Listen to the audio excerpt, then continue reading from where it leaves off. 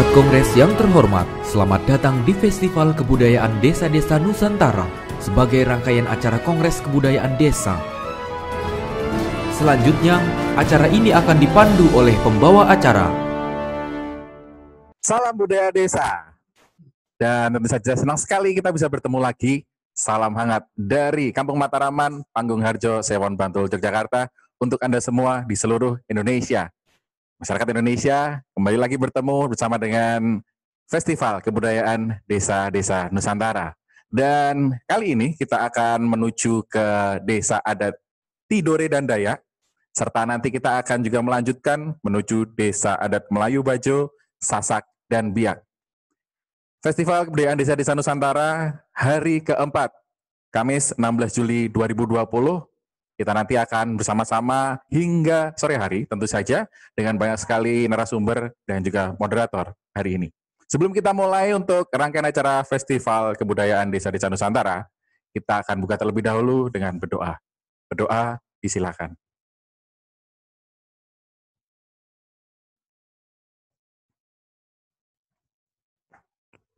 Selesai, terima kasih. Dan Sobat Festival, akhirnya kita berada di hari keempat, dan berarti ini adalah di seri ke-7 dan juga seri ke-8 untuk hari ini. Baik, sebelum kita akan menyaksikan talk show bersama dengan Desa Adat Tidore dan juga Dayak, marilah bersama-sama kita saksikan terlebih dahulu ini video dari Desa Adat Tidore dan Dayak.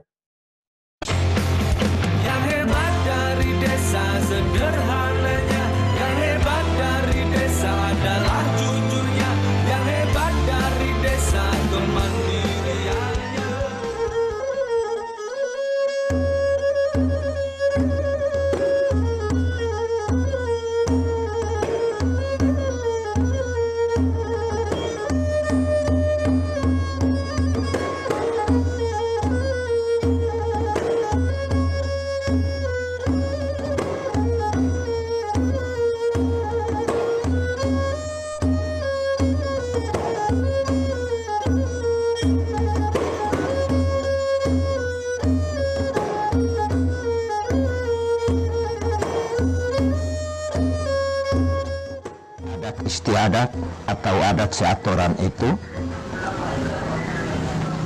Keberda- keberadaannya itu di tengah-tengah masyarakat itu sendiri. Sehingga uh, bukan sebuah rekayasa tapi adat itu sejak manusia itu lahir itu sudah terikat dengan adat istiadat. Lalu kalau kita orang di sini di Tidore dikenal dengan memang ada tujuh macam adat tapi yang biasa digunakan sehari-hari itu yang, yang menggunakan istilah adat istiadat dan adat seatoran. Nah, adat dan istiadatnya dan adat seatoran kemudian yang disebut juga adat selokudi, kemudian adat tuturine, adat koko-koko, adat tagi-tagi, adat horu-horu dan adat ewa-ewa. Kalau adat istiadat itu tradisi yang biasa kalau dalam perkawinan nonggantung kulambu. Kalau modern sekarang kan tidak, tapi sekarang kalau dulu-dulu biasa sampai sekarang masih ada masyarakat yang terkadang ada istiadat serta bilang ada rencana pernikahan maka di pihak keluarga dua itu calon mempelai laki-laki maupun perempuan itu sudah dadakan persiapan ter, terutama gantung kula, gantung kulambu. Yang seperti itu. Kemudian penentuan waktu dan seterusnya. Kemudian ada seatoran ada seatoran ini uh, saya kasih contoh. Kadang bisa orang tahu tahu ada tapi dia tidak tahu aturan. Contoh sementara kita orang makan dengan jamaah lalu ada orang tua dan sebagainya sementara orang makan dia tidak berdiri dari kursi langsung dia merokok di situ. Nah itu yang disebut dengan tahu adat tapi tidak tahu aturan jadi kadang ada daerah sendiri itu. Nah itu. Bahwa mereka tahu adat tapi mereka tidak tahu aturan. Sebabnya seperti itu berarti mereka itu tidak tahu aturan seperti itu adat selaku di adalah kebiasaan. Kebiasaan yang terikat bagaimana mendidik manusia itu yang manusia yang manusiawi. Nah, seperti itu. Kemudian adat tuturine. Jadi setiap duduk kebetulan ada orang lewat. Contohkan seperti saya duduk sementara ada yang lewat lalu mereka angkat. Sudah jauh memelihara rakyatnya tong ke sana dulu atau ke bawah dulu seperti itu. Itu menghormati satu. Itu ada tuturunnya ada tagi-tagi juga gitu. Berpapasan selalu memberikan penghormatan. Lalu ketem, kalau jalan bersama maka yang yang di bawah usia di bawah umur dia selalu menghormati. Ya. Bapak Bapak duluan dia tidak mau sejajar. Takut bayangan menutup tutup dunia tertua seperti itu ya dulu bisa hilang tapi sifat tidak bisa hilang. Contoh orang tubutul itu dengan orang istilah tebelo dalam itu. Orang yang masih punya yang ini masih primitif itu mereka potong ketika placenta lepas no lamo ini geno koru koru wa geno salamatua. No dadana tawa geno salamatua nah itu kamu sampai dewasa nanti harus mencuri, harus membunuh, harus merampok. Kalau tidak, tidak selamat. Nah itu. Ya, berarti itu adat. Itu adat. Itu mereka punya adat tradisi itu. Ya sampai sekarang tradisi karena contoh ada satu nama Martinus dia pernah sekolah SMA di sini tinggal Pak almarhum Pak Ahmad Kahar sampai dia beli STPDN itu dia ke dalam apa nih koper itu tetap dia parang itu dengan rambut itu ada. Berentak sedikit karena memang darah mengalir itu mengalirnya darah itu memang tidak bisa. Tradisi yang biasa mereka lakukan itu namanya ada ritual ake dango ake itu adalah air dan dango itu tempat atau uh, dibu itu ya jadi ake dango itu satu satu ritual yang biasa dilaksanakan oleh masyarakat adat di Kepulauan Gora Bunga yang setiap tahunnya dirangkaikan dengan Festival Tidore. Pengambilan air suci yang ada di puncak gunung Kiemutubu kemudian disemayamkan di rumah tetua adat atau rumah Sowohi. Nah, itu nanti dilaksanakan ritual di situ.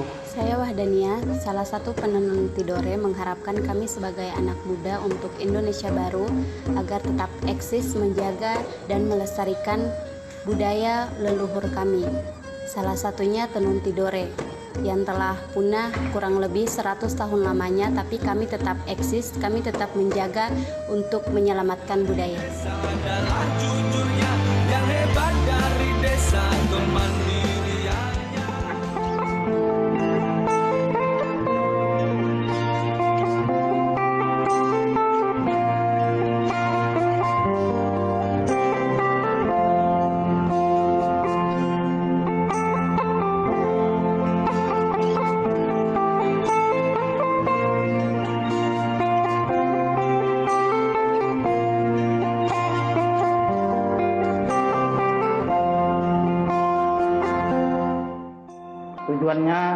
Mungkin sama dengan tujuan Bian itu kan Bian Bian apa kenyung, Bian tawo secara itu kan secara pengobatan ya. makanya adalah diadakan pembelian sentiu tapi pembelian sentiu itu tidak sembarang kita sembarang orang kan harus tahu itu. Karena pembelian sentiu itu bukan dari istilahnya keturunan enggak.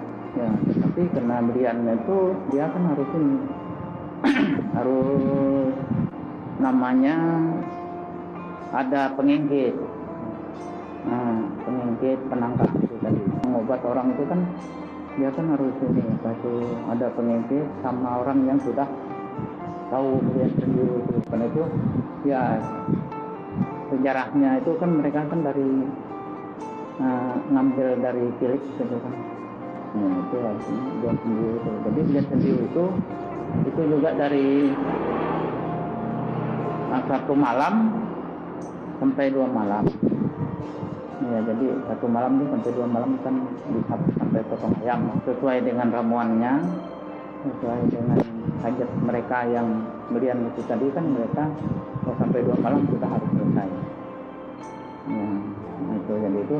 Dan sendiri bisa sampai empat sampai lima malam empat malam sampai dua sampai delapan malam kan ada potong babi. Dan itu juga berian pendiu dia bersama-sama juga namanya dengan berian benih berian turah. Hmm. untuk ini apa itu memupuskan niat itu janji kalau orang kami orang Dayak itu bilang itu samat. Samat sahut itu karena berian itu tidak sembarang orang harus tahu dia berian itu itu kan harus ada ada seperti andai katanya seperti di sini kan tausiah saya tidak tahu. Saya belajar belian dengan di sini itu tidak tidak hanya harus be- begitu belajar enggak. Nah, enggak boleh. Itu kan ada ramuannya ada apa ada mandau ada ini tombak ada segala apa itu nilai antang piring guci apa kan? Nah itu. Ya, ya apa pakaian saya tadi. Namanya saya nyuruh pengintip penangkap. Nah itu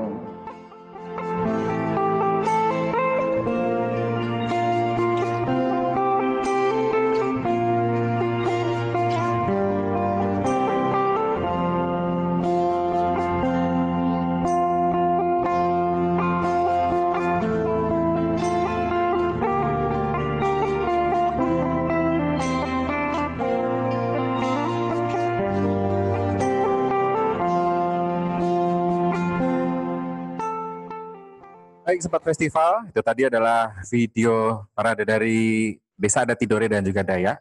Dan pagi ini langsung saja kita akan menuju ke talk show-nya.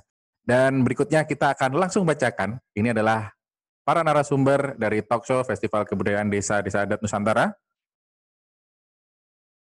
Munadi Kilkoda, beliau adalah Ketua Aliansi Masyarakat Adat Maluku Utara. Dominikus Uyub, pegiat budaya Dayak Kayan atau Kalimantan. Dan untuk penanggap di talk show Festival Kebudayaan Desa seri ketujuh ini adalah Chris Susandi Gunui. Beliau adalah Direktur Eksekutif Institut Dayakologi. Dan untuk moderator, telah bersiap-siap di seberang sana adalah Astuti Nurlaila Kilwow. Beliau adalah Direktur Fajaru Maluku Utara. Baik, langsung saja mungkin kita akan menghubungi untuk moderator. Halo, selamat pagi moderator. Selamat datang. Mbak Astuti, apa kabar Mbak Selamat Astuti? pagi. Ah, baik. Alhamdulillah. Sudah terdengar jelas suaranya Mbak? Iya, suara dari sana terdengar jelas. Apa suara saya terdengar jelas? Terdengar jelas juga. Oke, Iya. kalau begitu. Sudah siap Mbak Astuti? Langsung ya. Langsung kita serahkan ke moderator. Silahkan. Baik, eh, terima kasih. Assalamualaikum warahmatullahi wabarakatuh. Salam sejahtera bagi kita semua. Om Swastiastu, Namo Buddhaya, salam kebajikan, dan salam budaya desa. Eh, sebelumnya saya ucapkan selamat pagi untuk Sobat Festival yang ada di wilayah Barat Indonesia, dan selamat siang untuk Sobat Festival yang ada di Timur Indonesia. Karena kita di sini sudah siang ternyata. Perkenalkan, saya Tuti yang akan memandu sekaligus memoderatori jalannya diskusi pada seri ketujuh ini. Nah, sebelum kita lanjut ke pemaparan para narasumber, perkenankan saya untuk mengoverview sedikit tentang sesi diskusi kita pada kesempatan kali ini. Nah, seperti yang sudah diikuti oleh para sobat festival di seri-seri sebelumnya, seri ketujuh ini juga masih dalam kerangka yang sama, yaitu untuk mendiskusikan bagaimana arah tatanan Indonesia baru dalam perspektif desa-desa adat di Nusantara. Nah, kali ini kita akan mendiskusikan perspektif yang datang dari eh, desa adat Tidore, Maluku Utara, dan Dayak Kalimantan. Nah, eh, Indonesia sendiri merupakan negara kepulauan dengan altar 17 ribuan pulau, di mana terdapat 1.340 suku bangsa dan 546 ragam bahasa daerah. Nah, berkaitan dengan eksistensi keberag- keberagaman kebudayaan tersebut, ada juga persoalan-persoalan yang kemudian hadir dan eh, mengganggu keberlanjutan eksistensi kebudayaan kebudayaan lokal dalam masyarakat adat kita. Di antaranya yaitu yang pertama generalisasi kebudayaan Indonesia atau dengan kata lain ada upaya untuk menghomogenisasi atau menyeragamkan kebudayaan-kebudayaan lokal yang ada di Indonesia. Dampaknya adalah kebudayaan-kebudayaan lokal yang hidup di masyarakat adat kita banyak yang kemudian terdelegitimasi. Yang kedua adalah tergerusnya kebudayaan asing, eh, terge- maaf, tergerusnya kebudayaan lokal akibat tidak adanya filterisasi terhadap kebudayaan-kebudayaan baru yang masuk. Nah, dampaknya adalah kebudayaan-kebudayaan lokal kemudian teradopsi. Yang berikut lagi ada banyak kebudayaan lokal yang hilang atau terancam hilang akibat tidak adanya proses re- regenerasi eh, terhadap generasi-generasi baru. Nah, dalam dalam artian bahwa generasi muda hari ini dinilai tidak memiliki kepekaan atau kepedu- kepedulian untuk melestarikan eh, kebudayaan-kebudayaan lokal yang ada di daerah mereka. Nah, eh, yang berikut lagi ada pergeseran nilai budaya yang condong ke eh, barat gitu. Jadi barat di sini dapat dipersepsikan sebagai representasi dari modernitas dan kemajuan, sementara budaya timur itu dinilai sebagai budaya yang eh, terlalu tradisional atau konvensional. Nah, dampak dari semua ini adalah eh, budaya-budaya lokal yang hidup dalam masyarakat adat kita kemudian tercerabut, dianggap sebagai budaya inferior dan minoritas yang tidak memiliki panggung di dalam budaya superior ini. Nah, salah satu contohnya adalah bagaimana eh, pandangan budaya superior terhadap kebudayaan masyarakat Tobelo Dalam yang ada di pedalaman hutan Halmahera yang kemudian dinilai sebagai masyarakat primitif, tertinggal, miskin dan tidak bahkan tidak ber- berbudaya karena mereka tidak mengenal kebudayaan modern kita hari ini, tidak mengenal pakaian yang kita pakaian sintetis yang kita kenakan, tidak mengenal makanan instan yang kita makan, tidak juga mengenal eh, pembangunan rumah beton yang diproduksi oleh tambang-tambang galian. Mereka mem- mem- membangun kebudayaan mereka dengan apa yang tersedia di alam.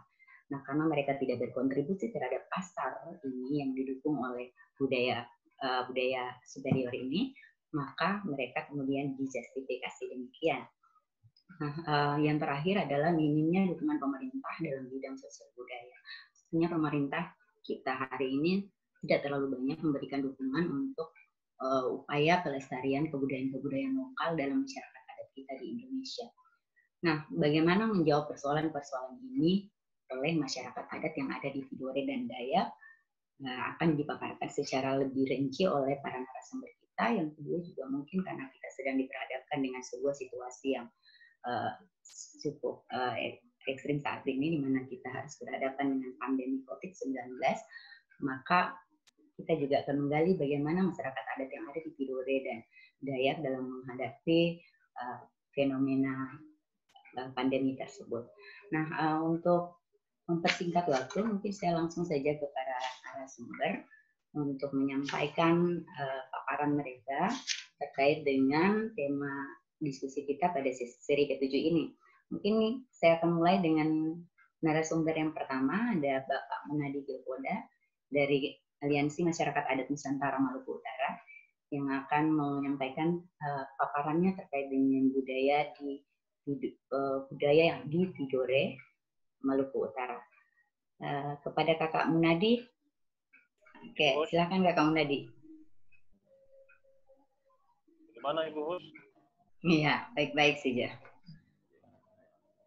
Ya Bang Fis, Bang Dominik, Dominikus yang saya hormati, ini rekan-rekan di Kalimantan ya, apa kabar? Kawan Astuti yang ada di Ternate juga apa kabar? Dengar ya suara ya? Sehat-sehat, terdengar jelas. Ya, ya.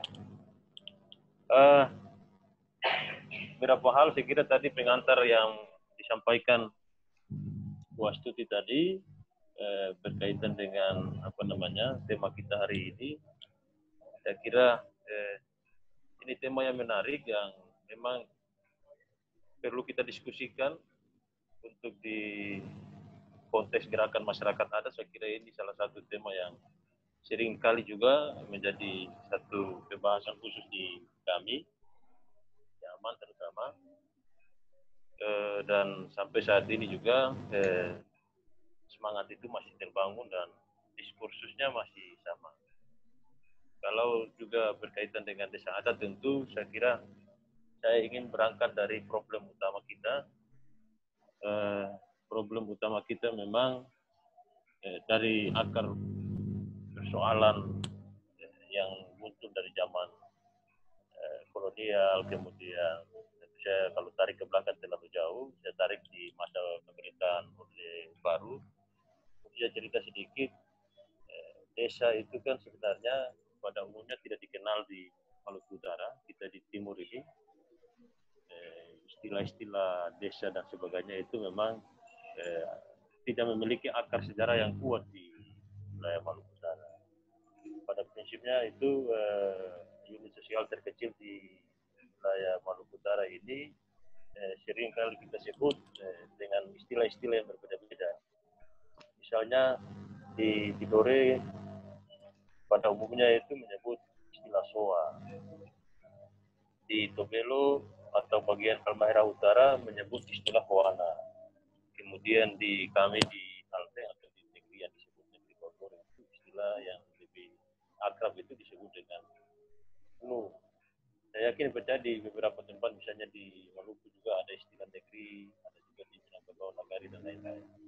Cuma kan ini eh, kemudian melebur menjadi desa ketika rejim Orde Baru memaksakan pemberlakuan Undang-Undang 5 nomor 5 tahun 1979 kalau tidak salah Hmm. Lalu semua ini diseragamkan. Soa Plu, Wana dan lain-lain Agari negeri dan lain-lain ini diseragamkan menjadi desa. Nah ini akar soal pertama di situ menurut saya. Menurut saya akar soal kenapa desa yang hari ini kenyataannya itu eh, jauh dari apa yang menjadi ekspektasi masyarakat adat itu eh, itu timbul karena memang ada keterkaitan yang kuat dengan penyeragaman ini. Nah, itu satu. Yang kedua mungkin eh, persoalan yang lain memang hmm, setelah perkembangan ini makin terbuka, eh, banyak desa kemudian eh, dia terkomunikasi dan terhubung dengan dunia-dunia luar. Istilah kami lebih sering kami gunakan itu open access. Desa-desa atau SOA, Buana dan lain-lain ini.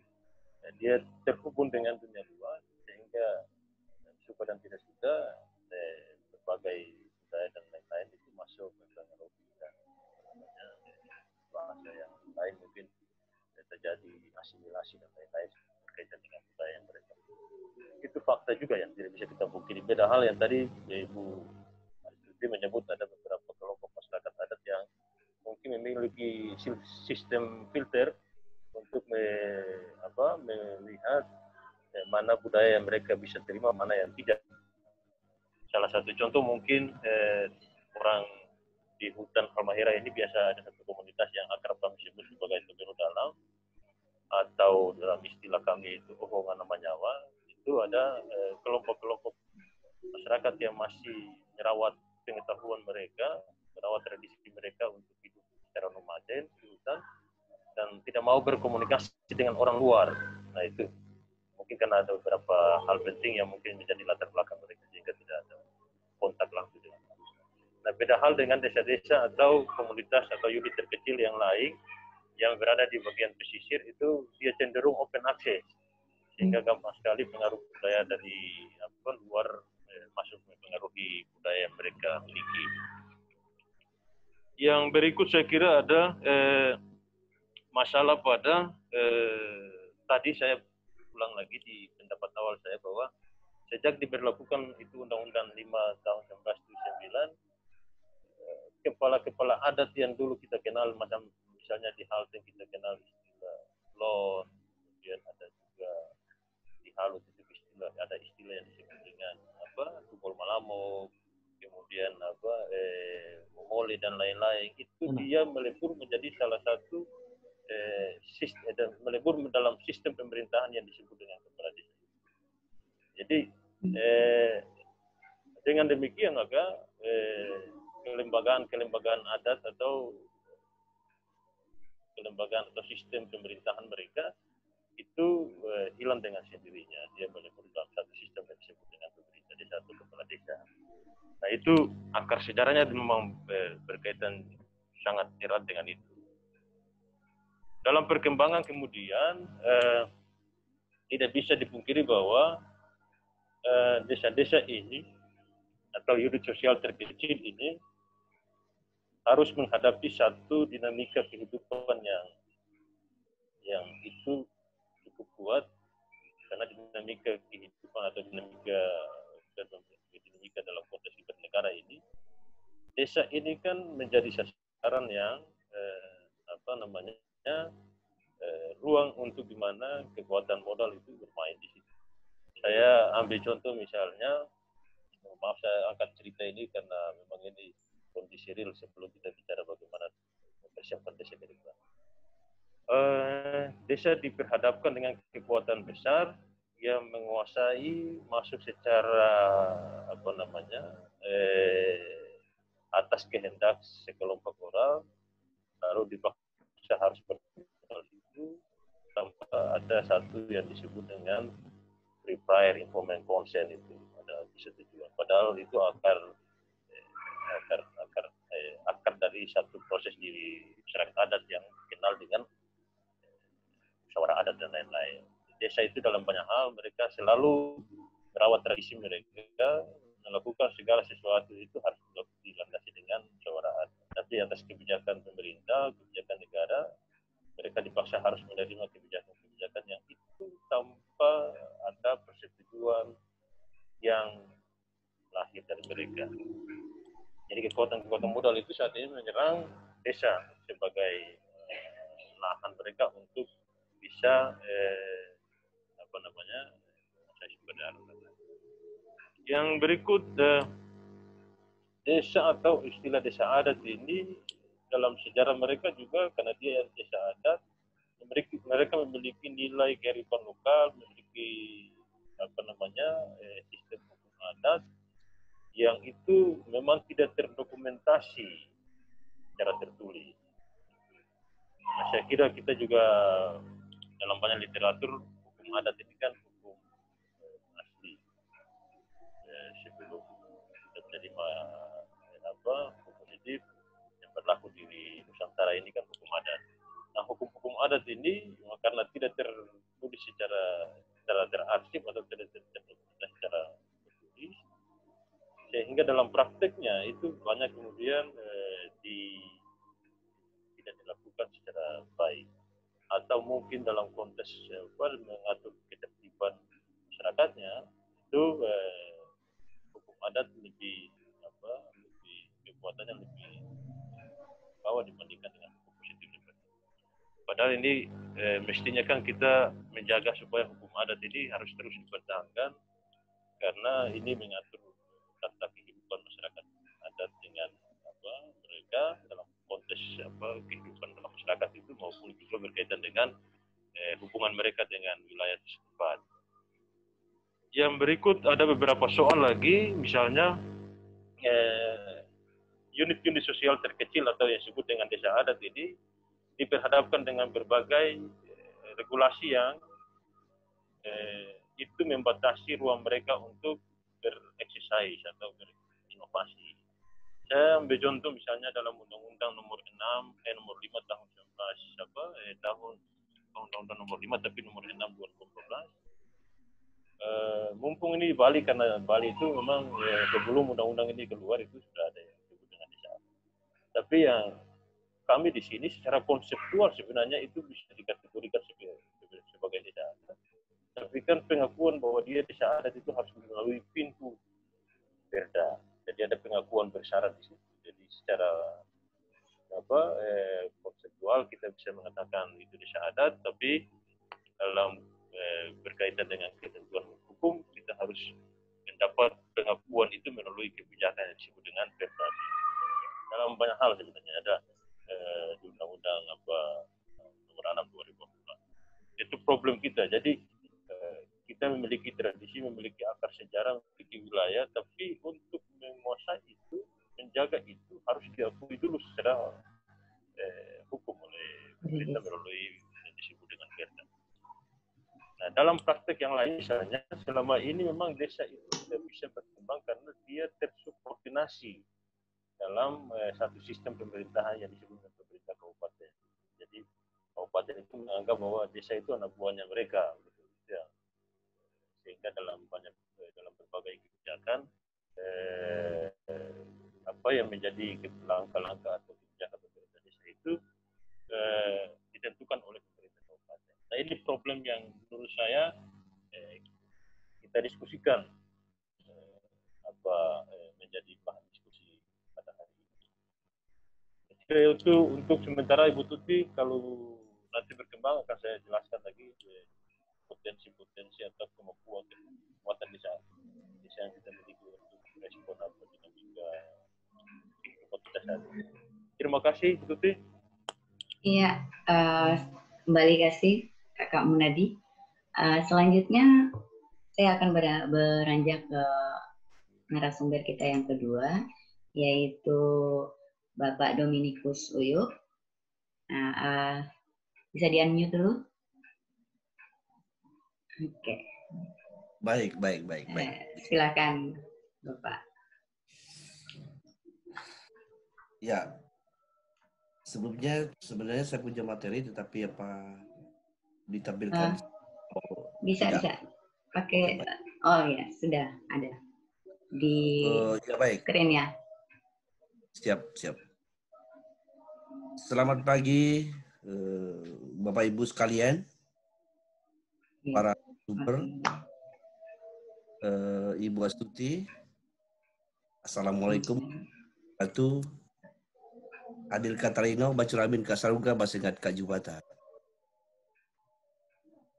Eh, sebenarnya materi ini cukup berat bagi saya karena bicara tentang desa adat di dalam suku Dayak di Kalimantan. Kalau bicara Kalimantan, ada empat provinsi yang cukup luas di Pulau Borneo. Tetapi saya memberanikan diri karena dalam kontekstual kultural, eh, Dayak itu eh, dalam konteks tradisi dan karifan lokal serta aturan-aturan adatnya eh, tidak terlalu jauh perbedaan-perbedaannya. Dalam materi yang saya sampaikan, saya banyak mengambil eh, contoh kasus yang berada di Kalimantan Barat, dari Kalimantan Barat, dari eh, suku Dayak Iban di Kabupaten Kapuas Hulu. Next. Lanjut, lanjut materinya.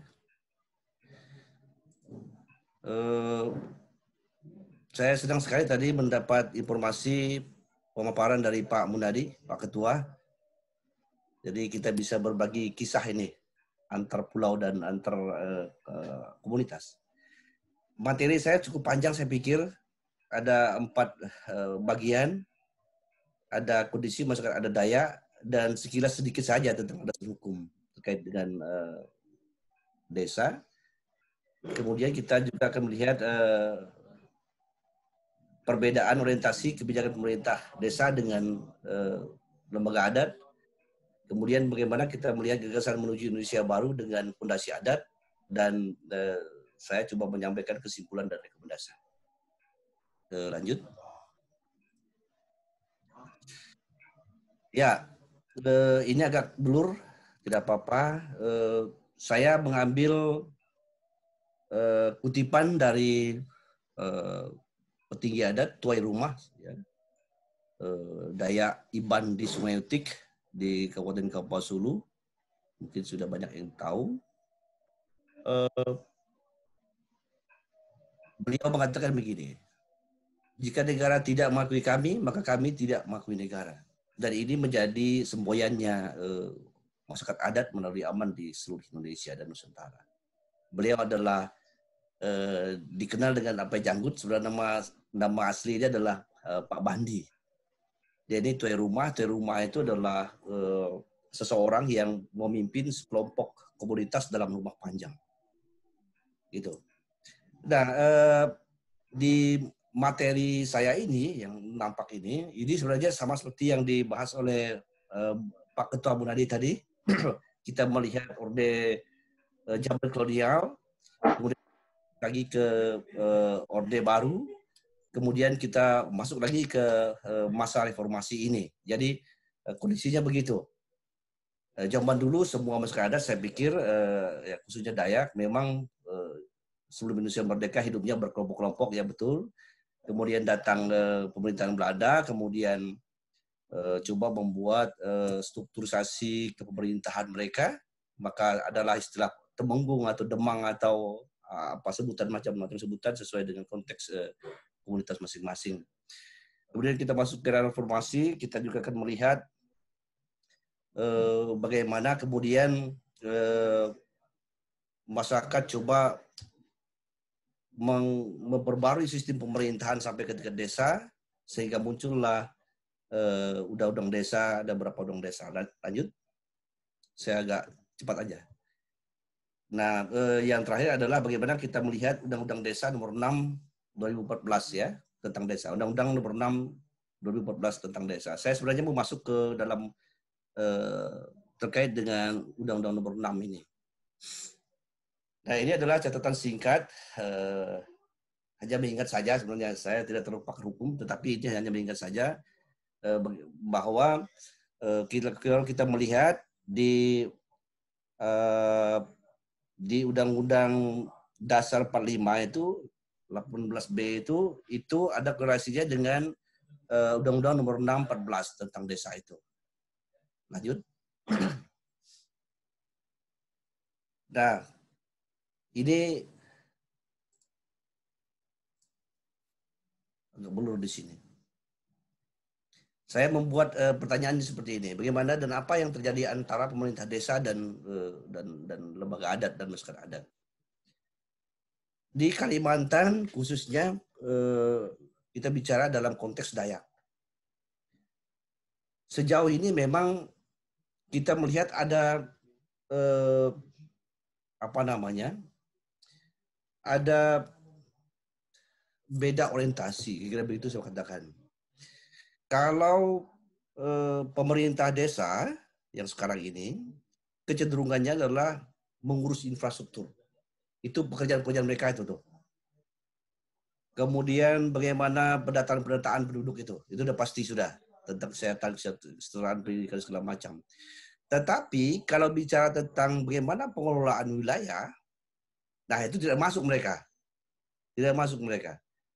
Kalau ada konflik tanah antar warga dalam kampung maupun antar warga, eh, warga dengan kampung sebelah atau dengan kelompok lain, itu yang turun adalah lembaga adat. Pak Temenggungnya turun atau ketua adatnya.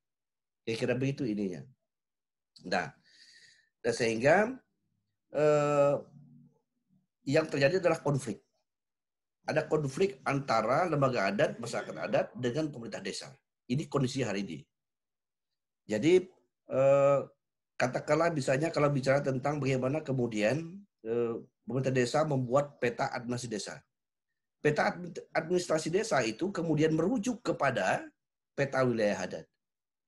Pada konteks inilah kemudian saya tidak tidak mengatakan bahwa eh, pemerintah desa ya eh, apa namanya eh, mengadu antara kelompok komunitas, tetapi faktanya adalah para pemimpin-pemimpin adat ini kemudian yang akan berembuk dengan pemimpin adat tetangga sebelah, bagaimana kemudian membuat peta desa yang basisnya adalah peta adat. Ini yang menurut saya yang memang eh, yang sangat eh, kesenjangan yang muncul yang luar biasa. Kemudian dalam bagaimana dalam pengelolaan-pengelolaan sumber daya yang ada dalamnya. Nah, sama juga pemerintah desa tidak punya kekuatan kuat, kekuatan pasti untuk bagaimana kemudian mereka eh, mengatur sumber daya alam yang ada di dalamnya. Justru yang mengaturnya adalah para ketua adat-ketua adat bersama dengan masyarakat adatnya. Nah, ini yang saya lihat. Kemudian eh, ada banyak sesungguhnya. Eh, kepentingan dengan pemerintah desa ini ada kepentingan-kepentingan yang muncul. Kepentingan misalnya bagaimana kemudian eh, pemerintah desa misalnya membuat peta administrasi desanya itu eh, basisnya adalah bagaimana eh, potensi yang ada di dalam desanya sekiranya ada potensi yang memungkinkan yang dekat dengan tetangga sebelahnya, maka PT desanya itu agak didorong-dorongnya ke tetangga sebelahnya. Yang muncul adalah konflik. Konflik kepentingan sumber daya alam. Lagi-lagi yang korban adalah bagaimana masyarakat adat dan ketua adatnya itu harus turun langsung ke lapangan. Nah, ini yang saya melihat bahwa eh, pemerintahan desa yang ada sekarang ini belum terlalu kuat. Belum terlalu kuat karena mereka adalah cenderung mengurus bagaimana kemudian pemberdayaan, bagaimana kemudian eh, infrastruktur dan pendataan-pendataan penduduk dan segala macam itu benar, tidak salah juga. Tetapi pada ranah-ranah fundamental masyarakat adat itu mereka tidak mampu masuk. Saya biasa di lapangan, jadi saya sangat memahami itu. Eh, ada banyak hal lain tentang tradisi-tradisi segala macam ritual itu tentulah pemerintah desa tidak masuk dan akan memberikan peluang itu kepada uh, uh, uh, tokoh adat atau ketua adat atau uh, para pihak-pihak yang di uh, dipercayakan. Nah, memang di dalam Undang-Undang Desa Nomor 6 itu memang uh, pada pasal tertentu saya lupa bahwa kepala desa itu memiliki kewenangan untuk uh, mengeluarkan SK menetapkan ketua adat. Ini juga konflik Pak Ketua Bunadi di Kalimantan khususnya di Dayak. Dan ini terjadi persis di kampung saya. Ke, kepala desa dengan kewenangannya tadi, dengan aturan-aturan undang-undang tadi, itu mengangkat eh, ketua adat ketua adat sesuai dengan kemauan dia. Sementara masyarakat adat di dalam itu tidak sesuai, tidak mau dengan orang yang diangkat. Yang terjadi adalah konflik. Ujung-ujungnya saya yang harus tuntangan. Ini ini persoalan. Maka saya melihat ini memang uh, undang-undang desa yang sekarang ini, bahkan yang dulunya, uh, terkait dengan kehidupan sistem sistem sistem uh, pemerintahan kelembagaan ada kira begitu saya katakan, itu tangan tak sampai. Kira begitu ya. Ya Pak Dominikus, waktunya lima menit lagi, mohon maaf. Oke, lanjut lanjut lanjut ke lanjut terus ke bawah. Nah, tadi seperti disampaikan oleh Pak Ketua Munadi bahwa eh, seperti apa sih yang diinginkan oleh masyarakat Dayak di Kalimantan? Itu pertanyaannya. Maka hari ini seluruh Indonesia, saya pikir di Kalimantan kita berusaha keras mendorong bagaimana ada perda pengakuan dan perlindungan masyarakat hukum adat. Inilah pintu masuk kita bagaimana kemudian uh, masyarakat adat diakomodir di dalam uh, di dalam uh, masyarakat adat diakomodir di dalam pemerintah desa. Dan selanjutnya, selanjutnya, selanjutnya, uh, ya ini tentang bagaimana kemudian saya saya melihat uh, apa uh, definisi dari masing-masing uh, ada lima hal yang harus diakui oleh pemerintah sesuai dengan uh, Permendagri 52 itu. Dan lanjut lagi lanjut lagi. Karena saya harus clear waktu lanjut lagi. Lanjut terus terus. Lanjut. Saya akan melihat saya meng, saya mau mengatakan begini. Ini ada dua struktur. Pemerintahan desa yang ada sekarang ini itu terlalu administratif dan e, terlalu panjang urusannya. Kalau di lembaga adat ini sangat simpel sekali. Tidak serumit seperti yang di desa jadi Misalnya RT RW itu bisa dipegang oleh tuai rumah, langsung selesai sudah. Itu modelnya. Pateh itu setingkat dusun. Kemudian Temenggung itu setingkat desa. Desa dalam konteks Temenggung, ya, ketemunggungan, itu tidak sendiri dari satu dua desa, satu satu dua kampung, itu banyak. Dan sekarang ini sudah dipecah sudah dipecah-pecahkan sehingga terjadi adalah konflik kepentingan antar kelompok dalam satu wilayah suku ketembungan itu. Lanjut, lanjut. Saya harus kejar tayang ini. Sebenarnya tabel ini adalah bagaimana kita bisa melihat eh, perbedaan-perbedaan itu ya di tabel-tabel ini. Lalu, uh, oke, okay, saya ke kesimpulan saja. Uh, kesimpulan saya begini di bawah.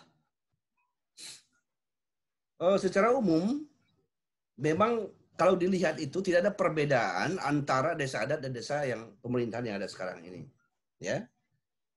Pemerintah desa yang sekarang ini seperti yang saya bilang tadi adalah lebih kepada struktural dan segala macam, infrastruktur segala macam.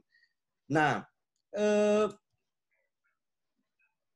yang saya jelaskan juga tadi bahwa sistem pemerintahan adat itu sangat sangat simpel dan fleksibel karena dia lebih kolektif dan demokratis.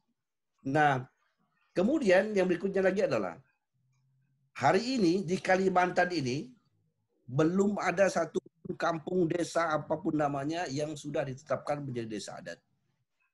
Mengapa? Karena bupatinya sesuai dengan mandat undang-undang itu yang harus menetapkan uh, desa adat itu adalah Pak Bupati melalui peraturan bupati, ya peraturan perda. itu tidak per, jarang sekali mensosialisasikan itu kepada pemerintah desanya, bahkan kepada masyarakat. Sehingga masyarakat itu ah, bingung. Kemudian eh, ya ini ini ini argumentasi saya ini. Argumentasi saya ini adalah eh, eh, ya kalau kalau kalau pemerintahan adat itu fundamen funda, fondasinya itu lebih kuat sekali menurut menurut hemat saya karena mengatur tentang hak dasar hidup manusia. Manusia dengan manusia, manusia dengan alam semesta, manusia dengan sang pencipta. Itu fondasi kuatnya. Baru kemudian infrastruktur segala macam itu kalau dibentuk. Nah, eh, saya ke mungkin rekomendasi aja lah kalau begitu. Nah, justru kita melihat begini. Yang memungkinkan bagaimana meng, meng, uh, mengimplementasikan uh, keberadaan masyarakat adat di dalam sistem pemerintahan tidak hanya diakui saja. Yang maksud saya adalah ada desa adat. Jadi memang Undang-Undang nomor 4, nomor 6 ini memang uh, kita setuju itu dan karena itu memang uh, mesti ada kegiatan-kegiatan kita harus mendorong bupati untuk segera mensosialisasikan itu, mengkampanyekan itu, kemudian membuat peraturan-peraturan, mendorong desa-desa yang yang memungkinkan untuk jadi desa adat dijadikan desa adat. Nah kemudian uh, uh, ya tentunya alasannya adalah hari ini sampai hari ini ya Pak Ketua Mudadi undang-undang masyarakat adat belum ada itu itu alasan mereka. Artinya ada ada dua hal itu yang mesti kita dorong. Kira-kira begitu eh, penyampaian saya. Terima kasih. Maaf. Iya, terima kasih Pak Dominikus. Baik, eh, tadi sudah ada pemaparan dari para narasumber kita, yaitu Kakak Monadi Girpoda dan Bapak Dominikus Uyup. Nah, selanjutnya kita akan beranjak ke penanggap kita. Ada Bapak Kris Sandi Gunung. Ya, bisa minta tolong di unmute dulu, Pak? Ya. Selamat pagi, Pak Yesus Sandi. Ya. ya. Halo, Halo selamat, selamat pagi. Iya. Suaranya uh, agak ini ya, double gitu ya? Double ya? Oh, sudah, sudah. Sudah enggak ya? Ya. Silakan, Pak. Oke, baik. Baik, Baik terima kasih. Selamat pagi dan salam sejahtera untuk kita semua. Salam pemberdayaan dalam kasih persaudaraan. Salam hormat untuk teman saya, Uyup.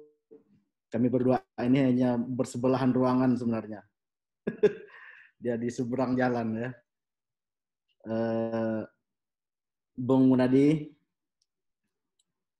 hidup masyarakat. Uh, kepada Ibu moderator, Ibu Astuti. Selamat siang, Ibu. Ya. Uh, saya akan me merespon sekaligus menyampaikan satu bahan yang sebenarnya sudah saya siapkan. Uh, sayangnya bahan itu dalam bentuk makalah, ya. Jadi nggak agak susah kalau ditampilkan itu terlalu panjang. Uh, saya mulai me mengambil latar belakang tentang desa adat ini ya. Desa adat ini sebenarnya uh, menginginkan semacam antitesis dari pro, dari undang-undang desa sebelumnya. Jika pada masa Orde Baru seperti yang disampaikan tadi yaitu melalui Undang-Undang Nomor 5 Tahun 79 itu terjadi semacam penyeragaman ya penyeragaman desa eh, di mana sebutan lain yang disebutkan di undang-undang yang ada sekarang itu itu itu tidak ada tuh. Nah, lahirnya penyeragaman itu sendiri itu tentulah punya niat di belakangnya. Jadi kita uh, tidak bisa menafikan bahwa ada sesuatu yang diinginkan dari uh, aturan itu. salah satunya kalau kita lihat itu adalah eh, dominasi ya. Jadi eh, undang-undang itu melahirkan sebuah dominasi. Ya kalau kita lihat eh, dominasi budaya itu luar biasa ya. Eh, terus terang saja undang-undang desa itu melahirkan Jawa sentris ya. Sehingga eh, kadang-kadang di daerah itu reaksi masyarakat kita rasa-rasanya dijajah oleh Jawa gitu. Bahkan ada ada ada pemikiran seperti itu ya. Ya terutama di di timur ya. Nah, lalu yang kedua kita melihat bahwa di balik undang-undang desa ini adalah eh, penghancuran sistem ya sebenarnya yang ada di komunitas eh, masyarakat adat. Jadi sistem pemerintahan adat yang sudah ada dan hidup sesuai kearifan lokal itu dimusnahkan secara sistematis melalui undang-undang itu. Apa tujuannya? Nah, itu kalau kita melihat dan kaji lebih jauh, itu adalah karena pemerintah pada masa itu mengembangkan sistem pemerintahan yang otoriter. Sehingga eh, kalau sebelumnya kepala adat itu dipilih oleh masyarakat dan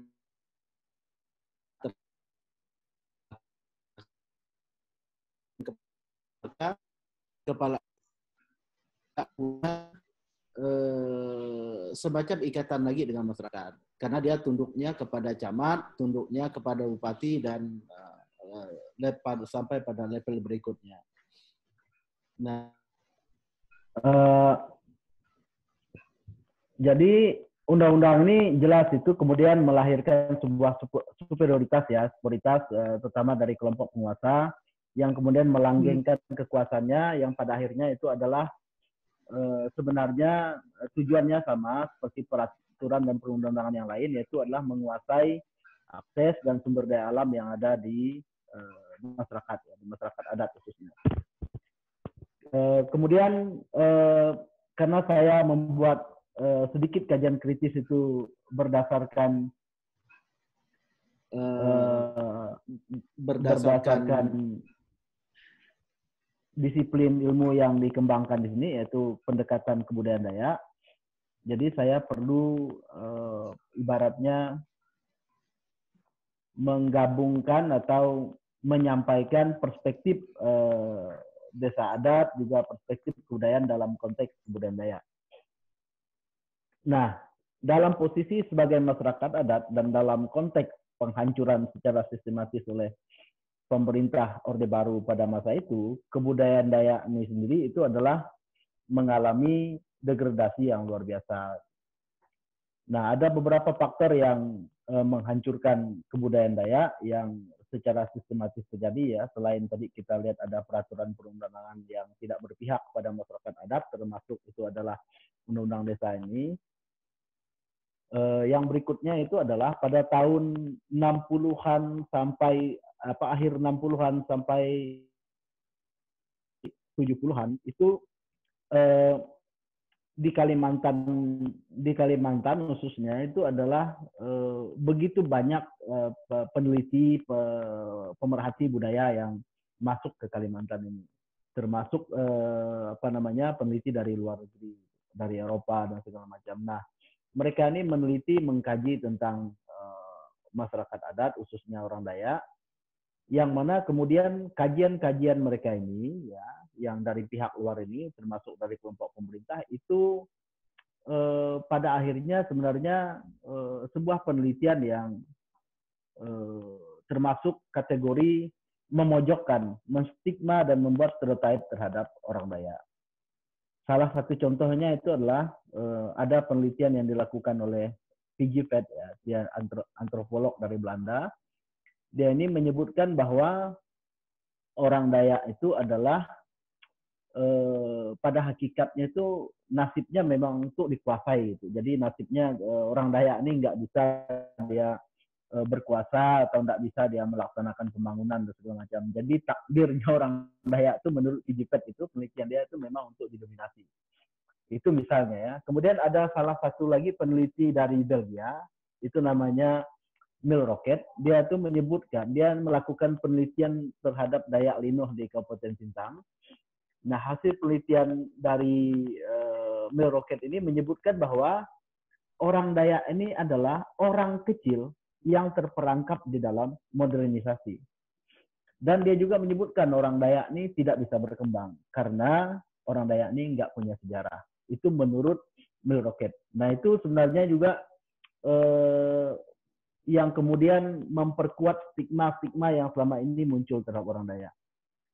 Nah, secara sistematis negara ini juga membuat me, apa namanya pada masa itu uh, terus memojokkan gitu. Misalnya yang tadi saya sebutkan 60-an tahun 60-an 70-an itu terjadi dari risetnya pemerintah pada masa itu kemudian mengeluarkan kebijakan itu melakukan penghancuran rumah panjang secara sistematis di Kalimantan ini ya. Khususnya di Kalimantan Barat ya. Itu uh, dengan berbagai alasan. Nah, uh, rumah panjang itu dihancurkan ya itu di, dikarenakan dianggap rumah panjang ini sebagai uh, basisnya komunis ya. Kemudian rumah panjang ini dihancurkan karena dianggap tidak higienis jorok itu karena rumah panjang juga dihancurkan karena dianggap rumah panjang ini mudah terbakar. Bahkan ada yang menyebutkan rumah panjang ini adalah tempatnya seks bebas macam. Nah ini karena yang melakukan penelitian ini sekali lagi orang bukan orang Dayak. Yang melakukan penelitian ini adalah orang luar yang dia hanya melihat Dayak itu sepintas lalu itu dan dia tidak memahami seperti apa kehidupan dan cara hidup orang Dayak seperti yang disampaikan teman saya Uyup tadi. Nah, yang lain itu adalah kita melihat bagaimana penghancuran budaya yang lain. Budaya itu dihancurkan juga secara sistematis melalui sistem pendidikan ya. Pendidikan kita ini sejak dari Orde Baru bahkan sampai sekarang saya melihatnya itu tidak mengakomodir tentang pendidikan kebudayaan, tidak mengakomodir tentang pengetahuan-pengetahuan lokal berbasiskan pengetahuan masyarakat adat. Itu enggak ada. Nah itu kalaupun ada itu adalah inisiatif-inisiatif masyarakat. Bahkan kita melihat kecenderungan negara ini akan semakin meninggalkan Pancasila. Karena Pancasila itu adalah gabungan ide, pemikiran, dan gagasan seluruh karifan lokal masyarakat Indonesia atau Nusantara. Kemudian eh, kebudayaan Dayak juga itu dihancurkan juga dengan eh, ketika masuknya agama-agama baru, agama-agama modern ya ke Kalimantan ini.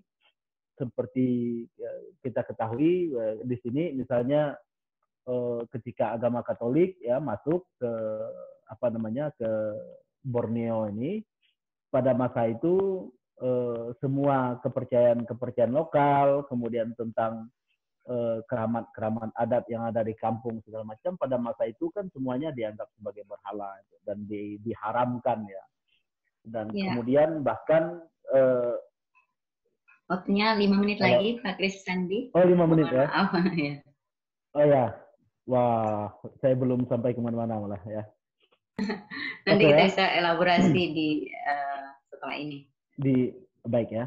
Eh, Saya teruskan dulu ya. Nah, singkat singkat singkat ceritanya, jadi selain eh, apa namanya, bahkan di di agama nih saking orang Dayak nih tadi nggak percaya diri dengan statusnya, itu orang Dayak banyak merubah identitasnya dengan cara merubah agamanya. Misalnya yang awalnya eh, agama Katolik, Protestan atau agama adat, kemudian dia pindah ke agama Islam misalnya eh, supaya dia bisa diterima jadi pegawai atau diterima secara sosial karena tadi malu dengan identitasnya karena sudah dibentuk secara sistematis ya. Eh, disebutkan tadi dengan riset-riset penelitian dan kemudian stigma-stigma dari luar yang menyebutkan Dayak ini adalah sebagai eh, kelompok yang primitif terbelakang dan seterusnya. Seperti yang disampaikan oleh Bung Munadi tadi. Kurang lebih seperti itu. Nah eh, salah satu tadi yang disampaikan itu memang peraturan itu juga menghancurkan ya. Pe- peraturan tentang pengelolaan sumber daya alam yang berbasis tentang apa namanya berbasis lahan ya yang sifatnya pembangunan di sini dan globalisasi itu juga cukup menghancurkan karena kebudayaan Dayak itu eh, sangat berbeda jadi jadi kalau orang dari non Dayak katakan non masyarakat adat dari Kalimantan ini mungkin melihat kebudayaan Dayak ini hanya sebatas seni, hiburan atau pariwisata saja. Tapi sesungguhnya kebudayaan Dayak itu sendiri kalau kita lihat ini adalah eh, kekayaan alam yang ada, kunikan-kunikan yang ada di Kalimantan ini itu tidak terjadi dengan sendirinya, tetapi itu adalah gabungan dari sebuah identitas, gabungan dari eh, persatuan integrasi antara lingkungan dengan eh, dengan manusianya gitu, antara antara alam dan kebudayaannya itu membentuk menjaga keseimbangan itu antara apa namanya keseimbangan alam dan juga uh, karakter kebudayaannya. Dan berikutnya uh, terkait tentang uh, saya kembali ke topik utama tentang desa adat ini. Nah, uh, seperti yang disampaikan teman saya tadi juga, uh, teman Uyup ya, di Kalimantan Barat ini uh, terjadi masalah ya tentang desa adat ini kan uh, cara memahaminya ada dua kalau saya melihatnya cara memahami yang pertama, kalau kita lihat substansi kan desa adat ini sebenarnya untuk memperbaiki situasi. Situasi yang tadi sengaja kita melihat itu terjadi penghancuran secara sistematis. Jadi desa adat ini di, diwacanakan, diwacanakan untuk memperbaiki sistem itu supaya masyarakat adat, supaya karifan lokal, kekayaan alam yang tadi eh, apa namanya karifan lokal, kemudian eh, posisi identitas masyarakat adat itu bisa kembali kepada posisinya melalui pengakuan, melalui perbaikan sistem tata pemerintahan. Nah, sayangnya eh, undang-undang tentang desa dan desa adat ini sepertinya itu kalau saya istilahkan itu kayak layak apa namanya perahu yang berlayar tapi layarnya nggak ada gitu. Jadi dia mengapung aja di tengah di eh, mengapung aja di apa di tengah eh, laut atau di tengah sungai itu tapi dia nggak tahu mau ke mana. Mengapa saya bilang begitu? Karena sesungguhnya secara de facto-nya masyarakat adat ini kan di Kalimantan Barat ini setidaknya sudah ada 16 komunitas ya yang sudah mendapatkan pengakuan oleh pemerintah. Mestinya ada 16 komunitas ini itu secara otomatis bisa menjadi desa adat kalau pemerintah punya niat untuk melakukannya. Nah sayangnya yang saya lihat ya pemerintah itu belum punya niat untuk masuk ke sana. Ya, karena apa? Karena undang-undang ini ketika dikeluarkan tahun 2006, uh, eh, undang-undang nomor, uh, nomor 6 tahun 2014 dikeluarkan sampai sekarang usianya sudah enam tahunan ya. Kalimantan Barat itu belum bisa mengakses itu satu pun. Tapi yang saya tahu itu diskusinya udah sering ya. Teman-teman dari pemerintah itu sendiri sudah sering datang ke lapangan, tapi hasilnya kita nggak tahu tuh hasilnya seperti apa. Nah yang saya lihat tuh memang ada sesuatu yang miss itu ya, nggak maksimal itu. Nah, padahal kalau mau kerjanya mudah, fakta di lapangan itu secara de facto itu ada banyak wilayah-wilayah yang sudah bisa dijadikan sebagai desa adat. Karena ketika ketika mendapatkan status legal formal dari pemerintah untuk wilayah-wilayah adat dan masyarakat adat di Kalbar, itu kan syaratnya sama dengan desa adat. Syarat yang pertama itu kan tentang sejarah dan asal usul, ada wilayah adatnya, kemudian ada kelembagaan adatnya, ada hukum adatnya, ada tatanan nilai di dalamnya dan segala macam. Nah, kalau itu kan syarat untuk menjadi masyarakat adat di undang-undang kita. Nah, seharusnya syarat eh, syarat ini kan sebenarnya sama dengan syarat yang diminta oleh undang-undang desa itu. Harusnya tidak ada yang rumit di situ. Tetapi mungkin karena yang mengerjakan ini nggak paham, jadi berpikirnya terlalu rumit, ya, sehingga kemudian implementasinya nggak maksimal. Yang kedua, saya lihat itu memang ada persoalan eh, kekosongan peraturan ya, ada peraturan di menurut informasi teman-teman itu adalah eh, desa adat itu bisa ditetapkan kalau ada perda di di di tingkat eh, provinsi khususnya. Jadi kalau ada eh, perda yang mengatur itu barulah dia bisa menjalankannya sampai ke daerah. Nah kalau itu nggak ada nggak bisa dilaksanakan. Yang kedua itu adalah teman-teman yang melaksanakan program desa adat ini saya lihat kurang melibatkan teman-teman CSO, kurang melibatkan lembaga-lembaga pendamping yang bekerja di masyarakat sehingga terjadi kesulitan ketika mau menerapkan ini. Yang ketiga itu sosialisasi itu nggak nggak tuntas yang saya lihat. Jadi eh, kelihatannya masih best project itu. Mestinya ini adalah pendekatannya harus dari hati juga untuk memperbaiki situasi di mana pada masa lalu negara ini sudah berbuat terlalu kasar ya, terlalu superior terhadap masyarakat adat. Harusnya ini di, diperbaiki situasinya dan alat ini digunakan dengan benar. Saya pikir itu dulu dari saya, eh, karena waktunya sedikit. Eh, nanti eh, beberapa hal catatan untuk rekomendasi sesuai dengan pertanyaan yang dikasih ke kami di dalam tour itu nanti akan saya sampaikan. Mudah-mudahan ada eh, sesi berikutnya. Terima iya. kasih. Yeah. Saya serahkan kembali kepada Ibu Astuti. Terima kasih Pak Kris Susandi. Uh, disimpan dulu Ya. untuk uh, materi pemaparan yang lebih uh, dalam karena kita akan ke pertanyaan-pertanyaan. Saya pikir sudah banyak uh, teman-teman juga yang memiliki kegelisahan, pertanyaan dan tanggapan terkait dengan uh, paparan dari para narasumber kita dan dari penanggap kita Pak Kris Susandi. Nah, uh, sebelum ke pertanyaan dari para sobat festival yang hadir pada kesempatan seri, pada seri ini, uh, saya akan mencoba mengelaborasi sedikit pemaparan dari para narasumber dan penanggap kita. Tadi dari Bapak yang pertama, Bapak Munadi Kelgoda, sedikit mem, mem- memaparkan bagaimana homogenisasi itu dijalankan di tingkat desa. Sejak pemerintahan Orde Baru melalui Undang-Undang Nomor 5 Tahun 1979 yang itu kemudian uh, sebagai salah satu upaya menyeragamkan uh, kebudayaan-kebudayaan sistem kebudayaan yang ada di tingkat lokal yang akhirnya kemudian menghilangkan uh, sistem pemerintahan adat yang sudah hidup sejak berabad-abad sebelum negara ini ada di antaranya Hoana di Tobiro, Soa di Tidore dan Lor di Halmahera Tengah. Kemudian dari Bapak Dominikus Uyut juga kurang lebih sama terkait dengan uh, itu juga dan juga beliau memaparkan sedikit ada empat alur materinya tapi kurang lebih beliau memaparkan tentang bagaimana uh, konflik yang terjadi antara pemerintahan desa dan lembaga adat di uh, di, Dayak Kalimantan. Juga belum ada uh, satu desa pun di Kalimantan itu yang kemudian telah ditetapkan sebagai desa adat. Belum ada sampai saat ini. Bahkan mungkin uh, itu dikarenakan karena kita belum mempunyai payung hukum. Artinya sampai hari ini RUU masyarakat adat belum juga disahkan oleh pemerintah kita hari ini. Nah, uh, dari Pak penanggap kita, Pak Kris Sandi, saya kira uh, banyak tadi beliau memaparkan sedikit tentang bagaimana degradasi kebudayaan yang dihadapi masyarakat Dayak akibat dari uh, upaya pemberangusan oleh masa Orde Baru itu melalui penelitian-penelitian yang mendiskreditkan dan stereotip masyarakat Dayak, kemudian melalui sistem pendidikan jadi sampai hari ini belum ada sistem pendidikan yang berbasis pengetahuan kebudayaan lokal. Dan yang terakhir itu ada masuknya agama-agama modern yang akhirnya banyak masyarakat yang pindah agama karena malu dengan identitas keagamaan atau kepercayaan mereka. Nah, uh, kebijakan pembangunan juga hari ini juga berkontribusi terhadap uh, degradasi tersebut. Kebijakan pembangunan yang berbasis lahan ini artinya kemudian banyak masyarakat Dayak yang kemudian berkonflik dengan investasi yang didukung penuh oleh kebijakan negara.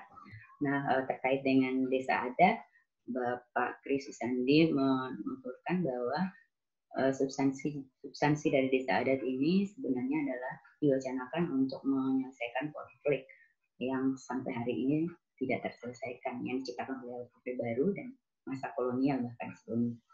Nah, kemudian undang-undang yang terus mengapung yang untuk uh, di, dilahirkan untuk melegitimasi desa adat itu kemudian belum ter belum disahkan karena beberapa faktor yang pertama itu uh, pemerintahan kita terlalu merumitkan karena padahal sudah jelas bahwa uh, ada syarat-syarat yang di, di dalam undang-undang untuk menjadi masyarakat adat dan sama dengan menjadi desa adat. Kemudian yang kedua itu harus ada perda dulu. Ini rumit juga dia ribet. Mungkin karena patokannya adalah desentralisasi agak lucu sih. Untuk pembangunan dia sentralistik, tapi dalam hal pengaturan masyarakat adat dia minta desentralisasi. Yang ketiga itu kurang ada pelibatan CSO dan yang terakhir itu kurang ada sosialisasi. Nah saya uh, pikir itu elaborasinya. Saya akan ke pertanyaan dari para uh, sobat festival kita yang ada di balik layar.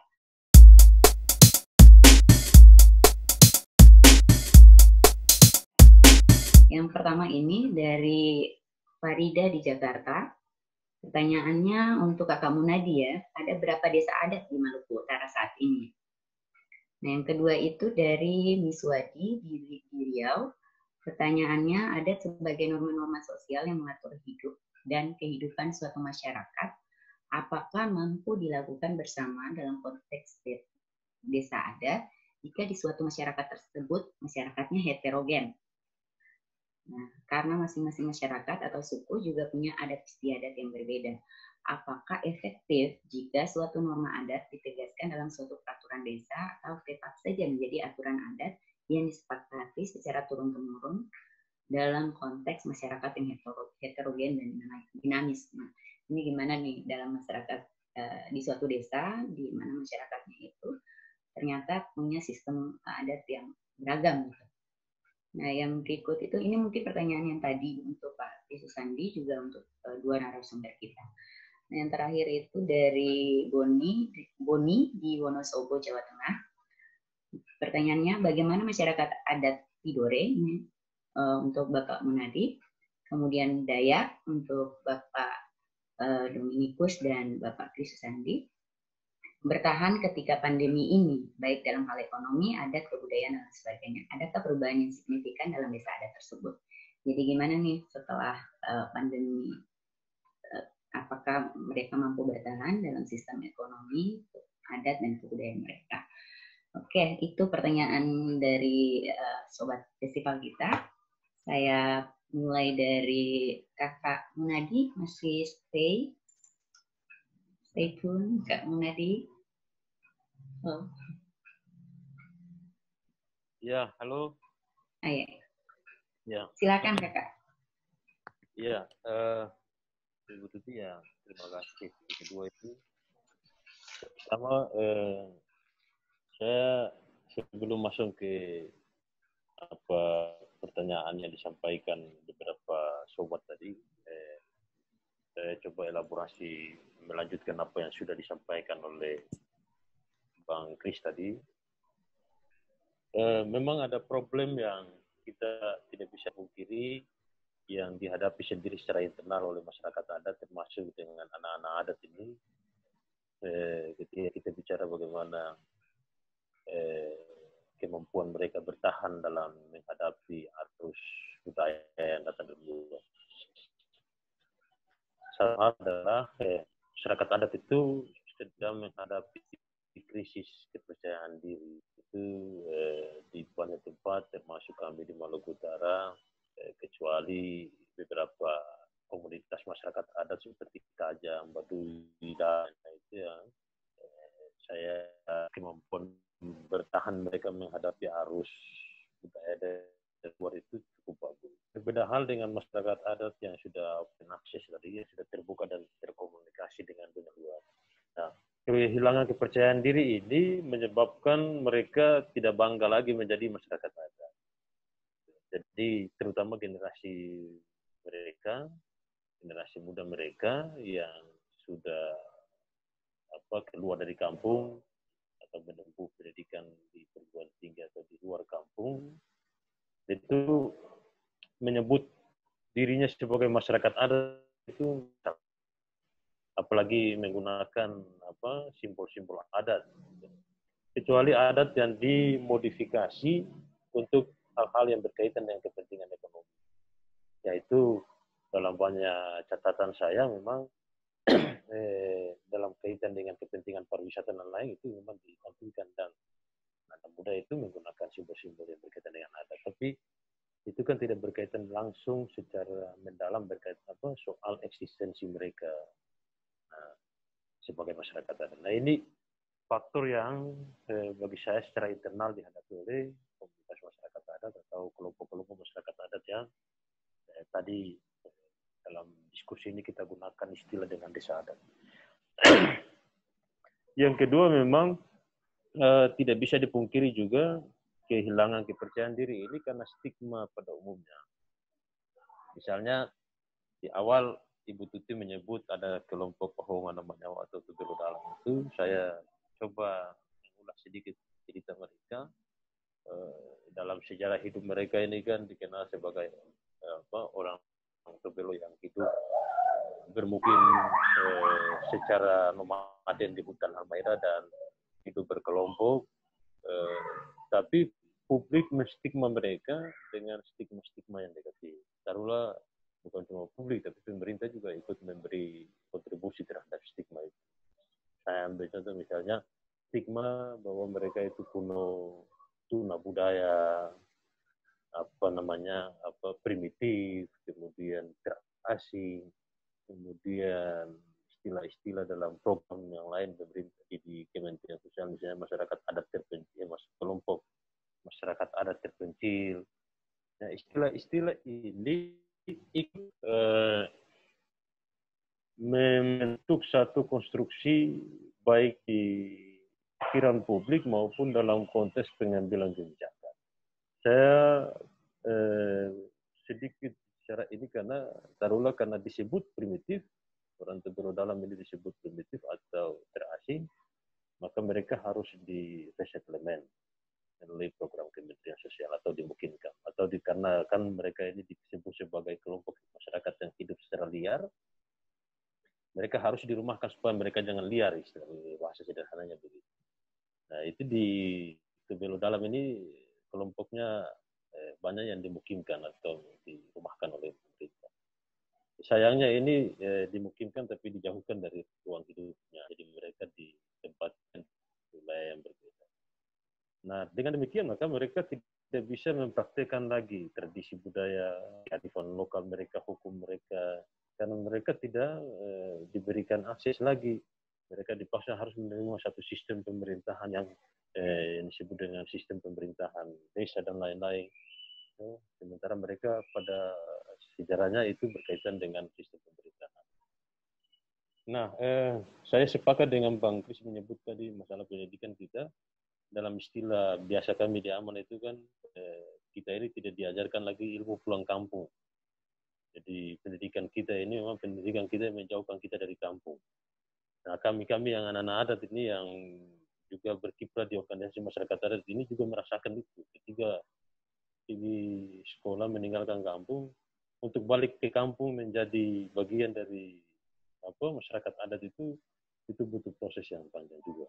Jadi itu yang eh, bagi saya ada problem yang memang tidak bisa di, dipisahkan dari konteks kita bicara bagaimana menyiapkan masyarakat adat ke depan. Nah, hal yang lain taruhlah eh, masyarakat adat kita atau kelompok masyarakat atau yang hidup di desa-desa adat ini, ini juga dalam banyak kasus eh, mereka tidak bisa mempraktikkan hukum tradisi mereka karena wilayah mereka itu sudah dicaplok habis itu Ibu Tuti sendiri tahu di mana-mana itu di Halteng ini eh, bagaimana orang Sawai bisa mempraktikkan hukum dan tradisinya. Sementara di situ ada Cina yang berhamburan di mana-mana. Cina menguasai ruang hidup. Cina menguasai sektor-sektor produktifnya. Cina menguasai tanahnya. Tentu juga dengan demikian mereka tidak bisa mempraktikkan hukum yang eh, yang mereka eh, yang diwariskan dari moyang mereka atau yang memang itu eh, yang berlaku dalam sistem pemerintahan mereka. Jumlah populasi mereka bahkan lebih kecil dibandingkan jumlah eh, keberadaan orang Cina di sini. Itu di banyak tempat di Maluku Utara. Jadi eh, masyarakat adat itu kalau tidak diberikan pengakuan terhadap haknya, maka sangat sulit untuk dia mempraktikkan hukumnya. Sangat sulit untuk mempraktikkan tradisinya atau mempraktikkan menghidupkan, menjaga dan sebagainya merawat pengetahuannya. Bagaimana mereka mau menjaga pengetahuan mereka dari sistem eh, apa yang berkaitan dengan sistem pertanian. Sementara tanahnya sudah dikuasai habis oleh perusahaan. Bagaimana mereka bisa mempertahankan pengetahuan mereka tentang hutan, sementara hutannya sudah hilang karena dicaplok habis oleh perusahaan sawit dan perusahaan tambang. Jadi dilema sebenarnya kita bicara bagaimana mendorong kemajuan pada sisi yang lain negara ini yang secara ekspansif membunuh akar-akar sosial budaya dan tradisi masyarakat adat. Nah, soal pertanyaan yang disampaikan tadi oleh kakak Farida tadi, untuk keberadaan masyarakat adat atau kelompok desa adat di Maluku Utara memang eh, aman belum memiliki data yang real, eh, hanya ada beberapa yang memang kita ajukan eh, di Maluku Utara ini, ada juga misalnya eh, yang sudah kita berhasil identifikasi eh, dari pendekatan yang dilakukan aman karena pendekatan aman kan pendekatan yang basisnya pada sejarah kemudian wilayah adat dan lain-lain yang itu bisa dibuktikan dengan peta wilayah adat dan sebagainya Sehingga yang kita ajukan itu kurang lebih ada 6 sampai 7 eh, kelompok masyarakat adat yang itu nanti eh, didorong dalam apa, eh, perda dan lain-lain. Nah, untuk untuk kalau menghadapi COVID bagi saya memang eh, tidak bisa dipungkiri ketika dalam situasi krisis yang kita hadapi saat ini, terutama karena pandemi, saya eh, ingin bilang bahwa sesungguhnya kemampuan bertahan itu ada di masyarakat adat. Ya, masyarakat adat memiliki kemampuan bertahan dan menjadi contoh bagaimana eh, dalam situasi krisis kita bisa apa namanya eh, belajar dari mereka. Satu hal misalnya eh, di tengah krisis pandemi ini kan kita bicara tentang krisis pangan. Masyarakat adat memiliki stok yang cukup untuk bertahan kalau misalnya pemerintah belum intervensi mereka melalui bansos dan lain-lain, mereka masih bisa survive dengan eh, potensi yang mereka miliki.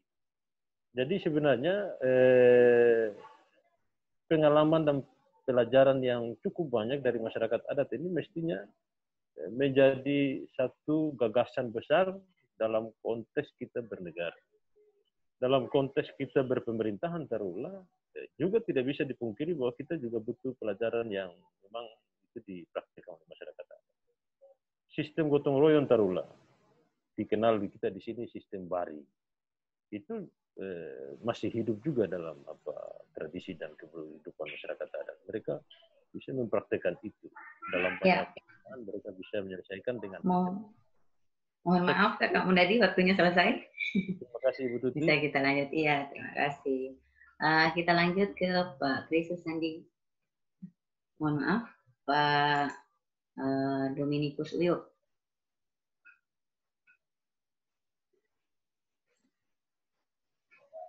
Bisa di-unmute, Pak. Kelupaan. Oke. Siap, ya, siap, bisa baik. dijawab pertanyaan dari sobat festival kita. Baik. Saya langsung saja terima kasih atas dua pertanyaan. Eh, bagaimana apa eh, bagaimanakah masyarakat dalam dalam apa dalam pandemi ini ya? Iya. Di Kalimantan di Dayak, saya melihat pandemi ini eh, telah memberi pembelajaran yang baik kepada semua pihak, terutama bagi komunitas. Di mana saat pandemi ini mulai gila, dalam kutip saya katakan, semua komunitas-komunitas itu berlomba, seolah-olah berlomba-lomba membuat ritual. Mereka membuat ritual untuk mengusir, membenteng diri dari eh, virus corona tadi, COVID tadi. Artinya mereka kembali teringat dengan tradisi-tradisi dan ritual-ritual yang eh, yang dimiliki. Mereka berusaha menggali dan menghidupkan kembali itu. Yang kedua terkait dengan bagaimana eh, ketahanan pangan atau ketahanan ekonomi mereka. Tadi seperti yang disampaikan oleh Ketua Munadi tadi, memang masyarakat adalah yang memiliki kekuatan dalam mempertahankan diri terkait dengan keberlanjutan hidup kaitan dengan ekonomi mereka. Karena di dalam di Kalimantan itu eh, istilah ladang hari ini terkenal dengan ladang tradisional ya, ladang tradisional yang menjadi eh, momok bagi eh, masyarakat adat peladang tradisional dengan kebijakan pemerintah. Dalam ladang itu seperti pertanian lainnya juga lain di tempat-tempat lain di Indonesia, masyarakat adat lain Indonesia. Kalau tidak hanya padi misalnya, ada banyak tanaman-tanaman yang bisa mereka, eh, mereka tanam dan seterusnya. Nah, tapi belum tahu apakah kalau pandemi ini bisa berlangsung sampai setahun setahun lebih ya. Kan tentu juga ada masalah besar dan karena itu memang menjadi eh, tugas dan tanggung jawab eh, pemerintah eh, pemerintah dan juga komunitas-komunitas di dalam kelompok itu. Nah, itu yang kita bisa melihatnya bahwa eh, dengan peristiwa pandemi eh, ada hal yang menarik karena di mana ada ritual-ritual eh, tolak bala dan segala macam dalam sebutan masing-masing itu uh, mulai dihidupkan kembali. Dan itu adalah gagasan dari ketua adat bukan dari kepala desa. Tidak bukan dari ketua kepala desa sendiri tetapi dua dari para ketua ketua adat. Terkait dengan pertanyaan Miswadi benar sekali bahwa jika dalam satu desa itu adalah heterogen terdiri dari dua sampai katakanlah dua suku kelompok suku yang berbeda aja tentulah itu akan menyulitkan tentang bagaimana tatanan eh, kehidupan sosial budaya dan aturan-aturan dari etika-etika norma-norma adat itu bisa berjalan dengan baik. Tidak bisa diseragamkan. Mungkin teman-teman di luar Kalimantan melihat Dayak itu satu saja. Itu eh, kawan saya Pak Kris itu paling paham.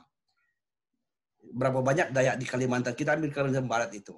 Pak Kris nanti bisa sampaikan itu berbeda-beda suku dan bahasa, berbeda adat dan budaya, dan seterusnya. Itu berbeda semua. Nah, uh, untuk kasus di Kalimantan, Pak uh, Miswadi, pada umumnya desa-desa yang eh, kampung-kampung yang bergabung dalam desa itu pada umumnya adalah uh, satu suku. Jadi kalau penerapan itu uh, desa adat, misalnya misalnya desa adat pilihan pilihan terburuk ini ya, uh, kita pakai, maka itu memungkinkan kayak gitu modelnya. Tetapi bagi desa-desa yang uh, yang banyak ini ya, kelompok suku lainnya, saran saya tidak bisa. Itu tetap akan menjadi konflik. Dan itu bukan bukan bukan bukan asas kita untuk menjunjung tinggi nilai-nilai luhur dan perbedaan atas uh, budaya itu dan itu uh, tidak benar. Saya kira itu pendapat saya. Terima kasih. Ya, terima kasih Pak Dominikus. Jadi itu menjawab uh, dua penanya sekaligus dari Boni dan Pak Miswadi. Dan selanjutnya saya ke Pak Susanti untuk menjawab kedua pertanyaan. Oke baik ya. Uh, terkait dengan pertanyaan dari dua penanya tadi tentang bagaimana aturan adat bisa berlaku di desa adat jika komunitasnya atau kelompok suku di dalamnya itu beragam ya. Eh, itu yang pertama. Uh, saya pikir apa yang sudah disampaikan oleh uh, teman berdua tadi itu sudah pas ya. Tentu saja penerapan untuk desa adat ini sendiri ini harus beres dulu, saya pikir ya. Jadi di kelompok masyarakat juga harus berhati-hati dengan desa adat ini. Jadi karena eh, ada perdebatan besar juga terkait desa adat ini misalnya terkait misalnya kayak di Bali aja sampai hari ini belum tuntas tuh, terkait desa adat dengan desa dinas itu bahkan ini sebelum undang-undang tentang desa adat ini keluar itu itu menunjukkan bahwa ada sesuatu yang memang belum tuntas dengan aturan tentang desa adat ini. Nah kalau saya sendiri itu lebih melihat bukan bukan desa adatnya yang paling penting, tetapi bagaimana negara ini sebenarnya melegitimasi, mengakui keberadaan untuk uh, pemerintahan-pemerintahan adat yang ada di kampung itu. Sesuai dengan basis atau unit sosial yang ada di komunitas. Misalnya, uh, uh, seperti yang ada di Kalimantan, di Kalimantan Barat khususnya, kalau kita mengambil contoh uh, masyarakat adat Dayak saja, itu penelitian dari Institut Diakologi selama kurang lebih 10 tahun eh, penelitian etnolinguistik tentang uh, masyarakat adat atau uh, apa jumlah sebaran subsuku dan bahasa Dayak di Kalimantan Barat ini itu kita memiliki setidaknya itu ada 151 subsuku dan ada 100 lagi sub-subsukunya. Jadi kalau sub-sub sukunya ditambah dengan sub sukunya itu ada 251 sub-sub suku di Kalimantan Barat, Dayak ya. Dengan 168 bahasa. Nah, itu menunjukkan bahwa e, keberagaman jangankan itu kalau misalnya di, di di suatu tempat itu ada kelompok suku yang berbeda. Dalam satu kelompok suku saja itu akan ada perbedaan-perbedaan, akan ada karakter sendiri dari setiap komunitasnya. Nah, mestinya memang eh, yang disebut dengan pemerintahan adat ini dia dia punya karakter sendiri yang yang yang paling utama adalah bagaimana dia bisa mengakomodir eh, kekasan dari kelompok setiap kelompok ini. Nah harusnya desa adat itu itu yang yang menonjol itu.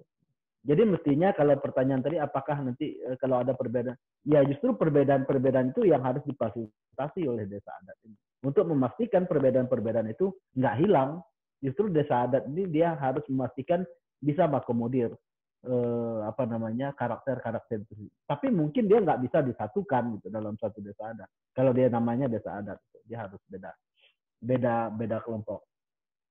Lalu yang kedua eh, terkait tentang pandemik ya tadi di, disampaikan oleh teman-teman juga. Nah saya pikir pandemik ini eh, menunjukkan bahwa kekuatan kapital, kekuatan modal, ya kapitalisme dan eh, liberalisme itu gugur melawan eh, pandemik ini. Itu kita kelihatan itu bahwa gaya-gaya hidup liberal itu nggak cocok dengan pandemi COVID-19. Tapi yang lebih pas ya dengan pandemik ini yang bisa bertahan itu adalah kelompok masyarakat yang masih mengedepankan kearifan lokal. Ya. Lalu yang kedua, ya kalau belajar dari Kalimantan ini, kelompok yang aman dan bertahan dari serangan COVID ini itu adalah kelompok masyarakat yang masih memiliki cadangan dan ketersediaan sumber daya alam yang bagus. Mengapa? Karena kalau dia sumber daya alamnya masih tersedia, ini kan COVID ini bagi masyarakat adat di Kalimantan khususnya, itu kalau penyebarannya saya yakin itu nggak akan dampaknya yang sampai ke komunitas. Jadi penyebarannya mungkin dari luar datang ke kampung.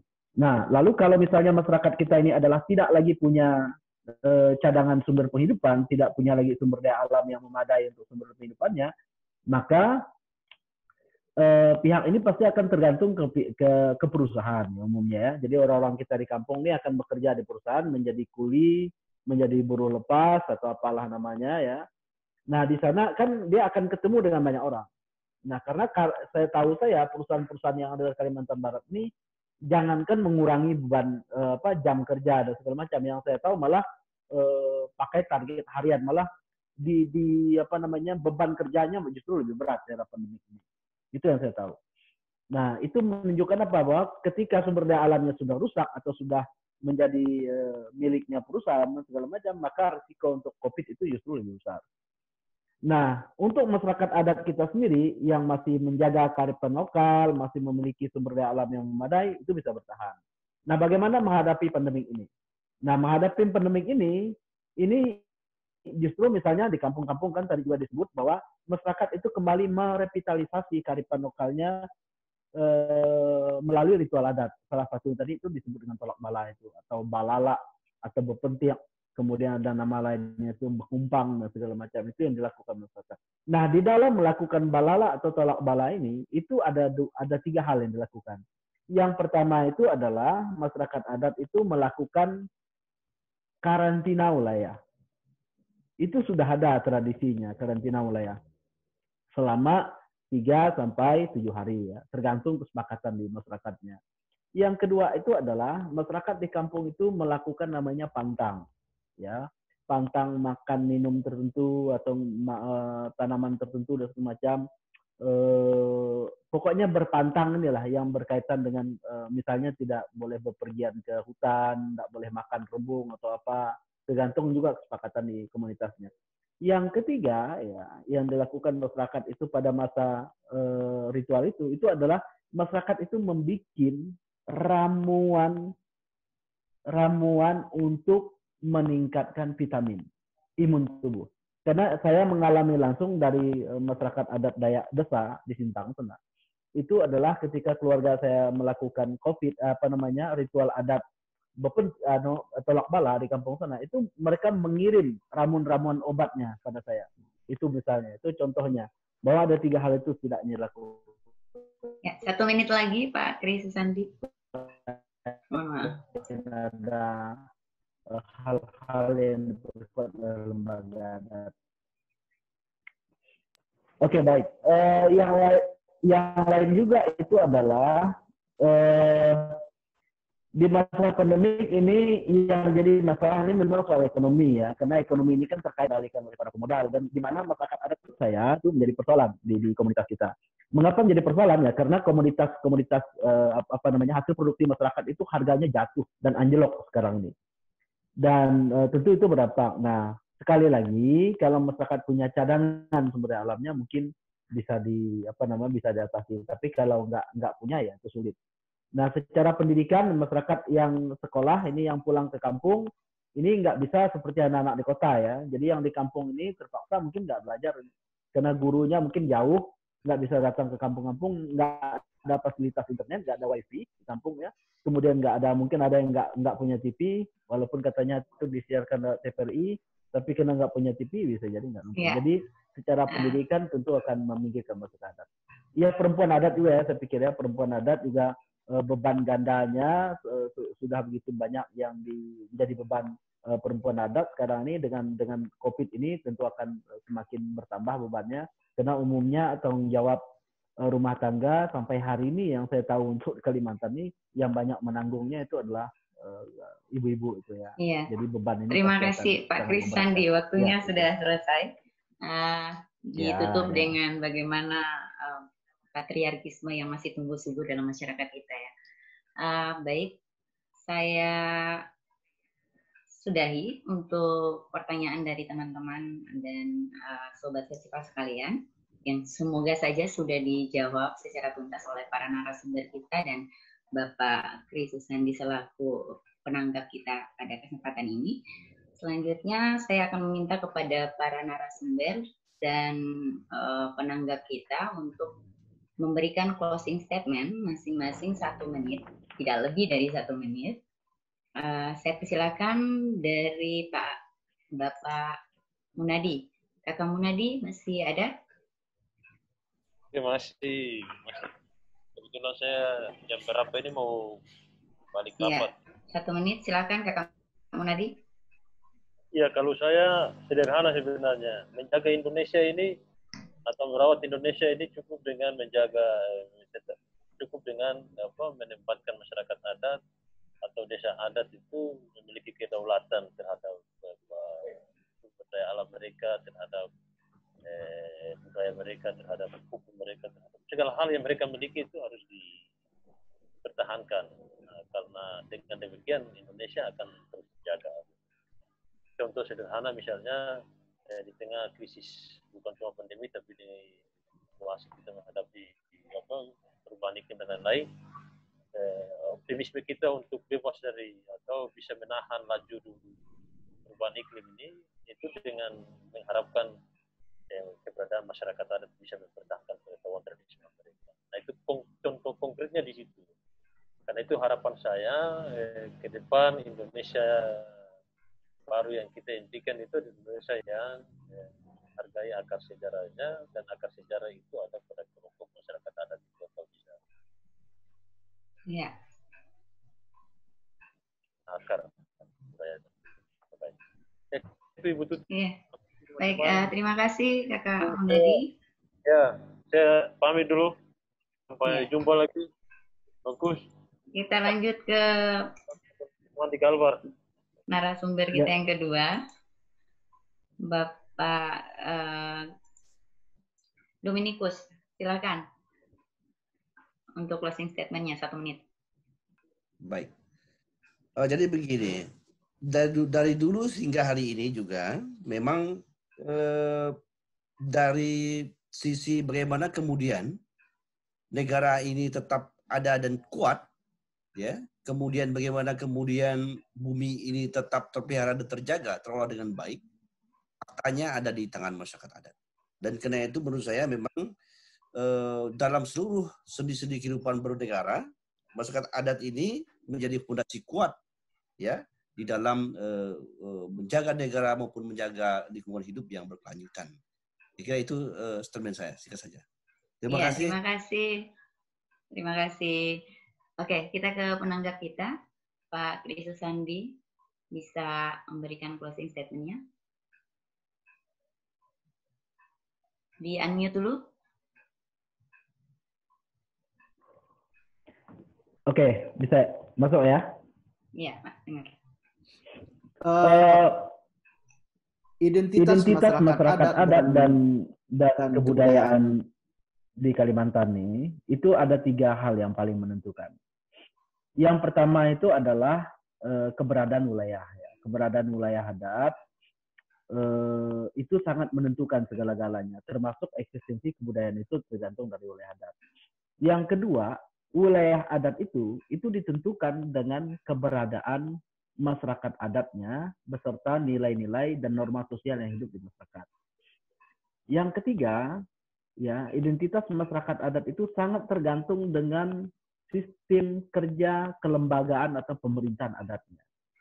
Nah, jadi pemerintahan adat ini atau kelembagaan adat ini setidaknya dia punya otoritas, otoritas dua otoritas. Otoritas yang pertama dia punya otoritas dalam menjaga menegakkan kedaulatan oleh adatnya, dan yang kedua dia punya otoritas dalam menegakkan hukum adat.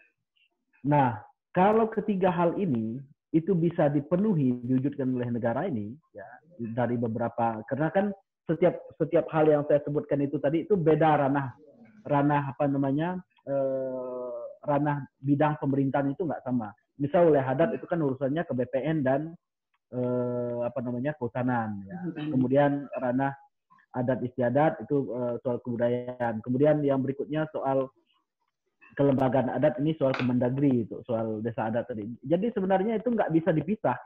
Jadi untuk masyarakat adat ini ya untuk melindungi masyarakat adat atau ketika kayak kita bicara isu adat itu melihatnya harus satu kesatuan. Maka logikanya kalau ada masyarakat adat sudah mendapatkan pengakuan, mestinya untuk pemerintahan adatnya juga secara otomatis karena syarat untuk diakui sebagai masyarakat adat itu Hmm. pemerintahan adatnya juga sudah di eh, di, di dilegalkan gitu loh. Jadi seharusnya nggak ada masalah. Jadi saya pikir tinggal dua aja. Jadi rekomendasi saya pemerintah tuh pertama punya niat baik, punya goodwill-nya. Yang kedua itu adalah punya niat politik, politik will-nya. Jadi kalau dua dua hal ini dilakukan, saya pikir nggak ada yang sulit. Begitu. Terima kasih. Oke, terima kasih Pak uh, Sandi yang sudah menutup. Jadi Ya. uh, mungkin itu closing statement dari para narasumber dan penanggap kita. Jadi dari Pak Munadi tadi terkait dengan kedaulatan adat, kedaulatan masyarakat adat harus dipertahankan untuk menjaga Indonesia. Yang kedua adalah menghargai akar sejarah kita yang berasal dari persatuan keberagaman masyarakat adat kita. Kemudian dari Pak Dominikus, masyarakat adat harus menjadi fondasi bagi pembangunan Indonesia hari ini itu. Kemudian dari Pak Kris Susandi, efisiensi keberadaan masyarakat adat itu berakar dari tiga hal. Yang pertama adalah keberadaan wilayah adat, kemudian ke- keberadaan atau eksistensi masyarakat beserta norma dan nilai-nilainya. Kemudian yang terakhir ada sistem kerja kelembagaan masyarakat adat yang bertugas untuk menjaga kedaulatan wilayah sekaligus untuk menerapkan hukum adatnya. Nah, eh, harapan dari Pak Kris Sandi ini mungkin juga menjadi harapan kita semua adalah bahwa pemerintah kita memiliki goodwill dan political will untuk menjalankan eh, amanah dari kita semua agar masyarakat adat dilindungi dan diakui keberadaan dan eksistensinya. Mungkin demikian dan diskusi kita pada seri ketujuh ini. Selanjutnya saya kembalikan ke uh, MC atau host yang ada di studio. Terima kasih. Terima kasih, terima kasih. Mas Tuti, terima kasih juga untuk para narasumber kita siang hari ini. Semoga ini bisa menjadi masukan yang luar biasa untuk semuanya juga dan bisa menjadi inspirasi untuk kita semua juga dari obrolan di seri 7 ini. Baik, sebelum kita tutup untuk eh, rangkaian seri 7 ini, kita akan berfoto bersama terlebih dahulu. Untuk itu, untuk seluruh narasumber dan juga Mbak Astuti, silahkan kita bisa nyalakan kembali kameranya. Kalau ada yang dimatikan, kita akan berfoto bersama terlebih dahulu. Baik. Menghadap kamera semuanya boleh senyum dulu, kita beri senyum dulu. Mari ya, satu, dua, tiga. Ya, sekali lagi kita teriakkan Salam budaya desa. salam budaya desa, gitu ya. Kita teriakkan bersama-sama. Sekali lagi, satu, dua, tiga. Salam. Salam budaya desa. desa. Terima kasih. Ya, boleh tepuk tangan kita semua, Bapak Ibu sekalian.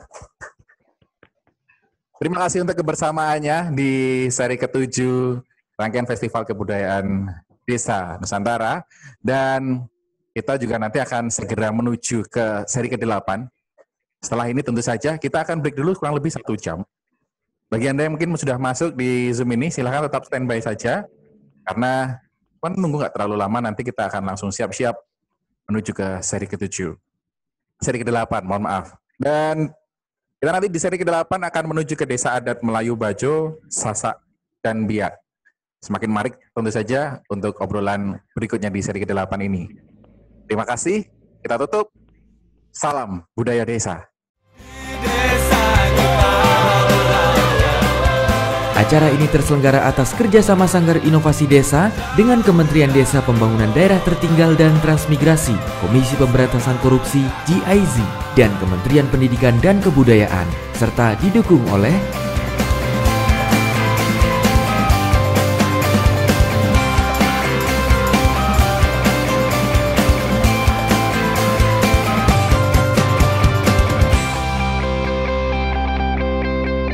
Video ini diproduksi oleh